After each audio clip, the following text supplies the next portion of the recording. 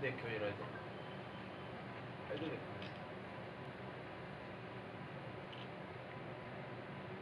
ਤੇ ਇੱਕ ਮੋਟਰਸਾਈਕਲ ਤੇ ਦੋ ਨੌਜਵਾਨ ਆਏ ਤੇ ਇਹਨਾਂ ਨੂੰ ਛੱਕ ਪਿਆ ਇਹਨਾਂ ਨੇ ਉਹਨਾਂ ਨੂੰ ਰੋਕਣ ਦੀ ਕੋਸ਼ਿਸ਼ ਕੀਤੀ ਉਹਨਾਂ ਮੋਟਰਸਾਈਕਲ ਭਜਾ ਲਿਆ ਜੀ। ਮੁਲਾਜ਼ਮਾਂ ਨੇ ਕਾਫੀ ਅ, ਮਿਹਨਤ ਕਰਕੇ ਉਹਨਾਂ ਨੂੰ ਘੇਰਿਆ ਮੋਟਰਸਾਈਕਲ 'ਚ ਮੋਟਰਸਾਈਕਲ ਮਾਰ ਕੇ ਰੋਕਿਆ। ਤੇ ਉਹਨਾਂ ਚੋਂ ਇੱਕ ਤਾਂ ਭੱਜ ਗਿਆ ਮੌਕੇ ਦਾ ਫਾਇਦਾ ਉਠਾ ਕੇ ਦੂਸਰਾ ਇਹ ਰਾਜੂ ਨਾਂ ਦਾ ਬੰਦਾ ਰਾਜੂ ਇਹ ਸ਼ਾਹਬਾਦ ਪਿੰਡ ਦਾ ਰਹਿਣ ਵਾਲਾ ਤੇ ਇਨ ਇਹਨੂੰ ਇਹ- ਇਹਨੂੰ ਪੁੱਛਿਆ ਦੂਜੇ ਦਾ ਨਾਂ ਦੂਜਾ ਇਹਦਾ ਸਾਥੀ ਸਨੀ ਸੀ ਉਹ ਵੀ ਸ਼ਾਹਬਾਦ ਪਿੰਡ ਦਾ ਜੀ ਦੋਨੋਂ ਸ਼ਾਹਬਾਦ ਪਿੰਡ ਦੇ ਰਹਿਣ ਵਾਲੇ ਸੀ। ਤੇ ਇਹਦੀ ਜਦੋਂ ਸਰਚ ਕੀਤੀ ਬੋਰੇ ਦੇ ਵਿੱਚ ਤਾਂ 36 ਬੋਤਲਾਂ ਸ਼ਰਾਬ ਵਿਸਕੀ ਅਮ, ਆਮ ਪੱਧਰ ਦੀ ਸੀ ਜਿਨ੍ਹਾਂ ਚੋਂ 10 16 ਕੁ ਬੋਤਲਾਂ ਤੇ ਲੇਬਲ ਸੀ 20 ਬੋਤਲਾਂ ਤੇ ਲੇਬਲ ਨਹੀਂ ਸੀ।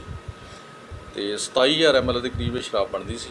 ਇਹਨਾਂ ਦੀ ਫਿਰ ਜਿਹੜਾ ਇਹਨਾਂ ਦਾ ਮੋਟਰਸਾਈਕਲ ਸੀ ਜਦੋਂ ਮੁਲਾਜ਼ਮ ਇਹਨਾਂ ਨੂੰ ਘੇਰਨ ਲੱਗੇ ਤਾਂ ਮੁਲਾਜ਼ਮ ਸਾਡਿਆਂ ਦੇ ਨਾਲ ਕਾਫੀ ਹੱਥੋਂ-ਪਾਈ ਹੋਏ।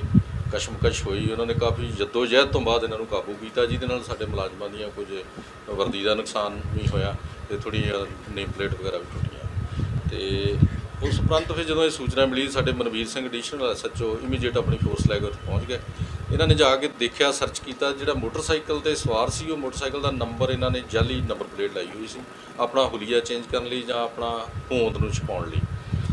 ਉਹਦੇ ਮੁਤਾਬਕ ਇਹਨਾਂ ਦੇ ਐਫ ਆਈ ਆਰ ਦਰਜ ਕਰ ਦਿੱਤੀ ਗਈ ਜੀ 473 61 14 ਐਕਸਾਈਜ਼ ਐਕਟ ਤੇ 427 ਅਹ, ਇੱਕ, ਅਹ, 353 186 ਮੁਲਾਜ਼ਮਾਂ ਦੇ ਗਲ ਪੈਣ ਮੁਲਾਜ਼ਮਾਂ ਦੀ ਡਿਊਟੀ 'ਚ ਰੁਕਾਵਟ ਪਾਉਣ ਲਈ ਫਿਰ ਇਹ ਜਿਹੜਾ ਫੜਿਆ ਬੰਦਾ ਇਹਦੀ ਪੁੱਛਗਿੱਛ ਕੀਤੀ ਮੌਕੇ ਤੇ ਵੀ ਇੰਨੇ ਵੱਡੇ ਪੱਧਰ ਦੀ ਇਹਨੇ ਬੰਦ ਦੌਰਾਨ ਇੰਨੀ ਸਖਤ ਚੈਕਿੰਗ ਦੌਰਾਨ ਕਿੱਥੋਂ ਲੈ ਕੇ ਆਉਂਦੀ ਉਹ। ਫਿਰ ਇਹਨੇ ਦੱਸਿਆ ਅਜਮੇਰ ਸਿੰਘ ਛੱਬਾ ਗਿੱਲਾਂ ਵਾਲੀ ਪਿੰਡ ਦਾ ਉਹਦੇ ਕੋਲ ਲੈ ਕੇ ਆਏ ਆ। ਉੱਥੇ ਉਹਦੇ ਵਿੱਚ ਇਹ ਜਿਹੜੀ ਸਪਿਰਟ ਵਗੈਰਾ ਜਾਂ ਅਲਕੋਹਲ ਮਿਲਾ ਕੇ ਉਹਨੂੰ ਆਮ ਸ਼ਰਾਬ ਤੋਂ ਥੋੜਾ ਜ਼ਹਿਰੀਲੀ ਤੇਜ਼ ਬਣਾ ਦਿੰਦੇ ਆ, ਜਿਹਦੇ ਨਾਲ ਆਮ ਪੀਣ ਵਾਲੇ ਦਾ ਨੁਕਸਾਨ ਹੋ ਸਕਦਾ ਜੀ। ਉਹਦੇ ਵਿੱਚ ਫਿਰ ਅਜਮੇਰ ਸਿੰਘ ਸੱਭਾ ਨੂੰ ਵੀ ਗ੍ਰਿਫਤਾਰ ਕਰ ਲਿਆ ਹੋਇਆ ਵਾ ਤੇ ਸਾਡੀ ਅੱਗੇ ਪੁੱਛਗਿੱਛ ਜਾਰੀ ਆ।